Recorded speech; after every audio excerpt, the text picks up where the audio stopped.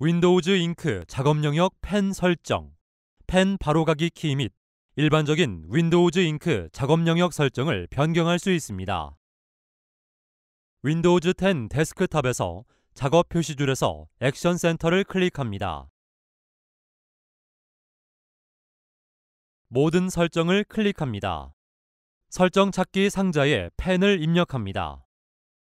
펜 설정을 선택한 다음 펜 및 Windows Ink를 선택합니다.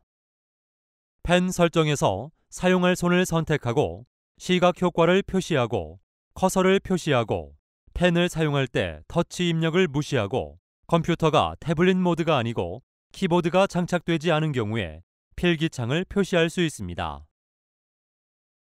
Windows Ink 작업 영역 설정에서 권장앱 추천을 표시하고 펜 바로가기 키를 설정하고 한 번 클릭, 두 번 클릭 또는 길게 누르기에 대한 펜 행동을 선택할 수 있습니다.